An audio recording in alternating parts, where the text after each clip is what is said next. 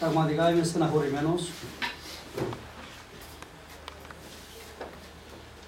Σε τέτοια στιγμή δυστυχώς δεν μπορείς να πεις αυτά που θέλεις.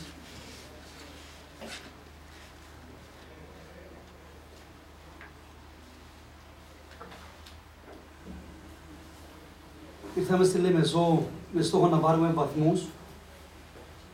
Κυνηγήσαμε το αποτέλεσμα από το πρώτο λεπτό με καλή τακτική. Το πλάνο πέτυχε 100%. Καταφέραμε με πολλή υπομονή. Πολύ αμονίχο. Θέλω να ρωτήσω κάτι. Εντάξει, συνέχισε. Κάτσε, κάτω. Εντάξει, μιλέ, μίλα, συνέχισε, γιατί εντάξει. Μεταδίδεται από το ράδιο. εντάξει. Συνέχισε, Όχι, όχι, όχι. Συνέχισε, συνέχισε. Εντάξει.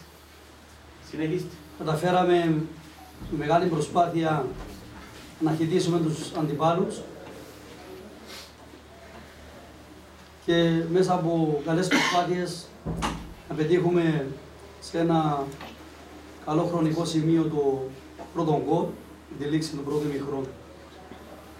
Στην επανάληψη δώσαμε περισσότερες δυνάμεις, τα παιδιά πίστεψαν στην νίκη Καταφέραμε να πετύχουμε και δεύτερο γκολ, το οποίο μας έδωσε μεγάλο προβάδισμα.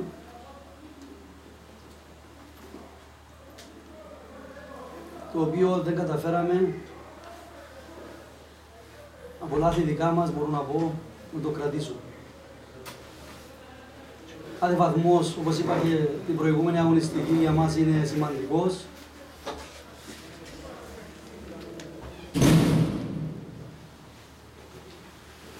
στην προσπάθεια που κάνουμε για να κρατήσουμε την ομάδα στην κατηγορία. Ο δρόμος είναι μακρύς ακόμα, δύσκολος, όμως υπάρχει θέληση και πίστη για να πάρουμε του, τους βαθμούς εκείνους που θα κρατήσουν την ομάδα στην κατηγορία.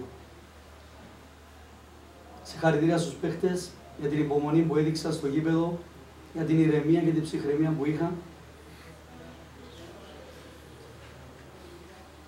Και αμέσως εμείς θα κοιτάξουμε για το επόμενο παιχνίδι να οργανωθούμε. Έχουμε ένα πολύ σημαντικό παιχνίδι στη Λευκοσία ξανά σε εκτός έδρας αγώνα με τη Βιλτόξα.